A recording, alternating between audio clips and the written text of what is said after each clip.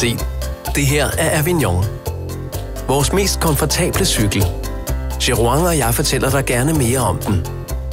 Alt er nøje gennemtænkt ved designet af denne første klasses elcykel, så din cykeloplevelse bliver bedre end nogensinde før. Fra smart teknologi og tilbehør til et dynamisk design. Se hvordan de slanke linjer stilfuldt følger stellet fra front til bag. Batteriet er pænt skjult i stellet. Lygterne er fuldt integreret. Og som prikken over i'et samles kablerne ved styret, før de løber ned i kronrøret. Er det ikke flot? Som sagt er Avignon vores mest komfortable elcykel. Med god grund. Nu skal du se. Tag for eksempel denne brede, lave indstigning. Det første skridt til en afslappet cykeltur. Se bare. Frempinden kan let justeres med den unikke switch-frempind. Uden brug af værktøj. Du sidder altid i den perfekte position. Den affjedrede forgaffel sikrer endnu mere komfort, ligesom de ekstra brede dæk, der absorberer alle bump fra vejen.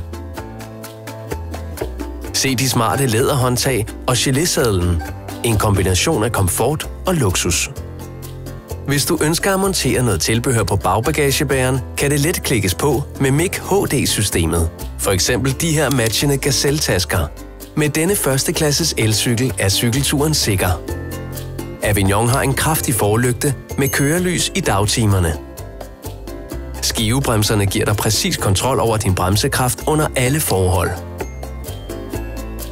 Det her er C380 HMB med et næsten vedligeholdelsesfrit støjsvagt ramtræk. Takket være dets trinløse navgear er du altid i det rigtige gear. Og du kan træde i pedalerne, når du skifter gear. Denne model er udstyret med en kraftig Bosch centermotor og leveres som standard med et 625 watts batteri. Cyklen fås i en stilren, mat grå farve. Den næste model er Avignon C8 HMB. Centermotoren fra Bosch er nem at betjene med displayet på styret. C8 HMB har desuden en automatisk kædestrammer og 8 gear. Overbevist?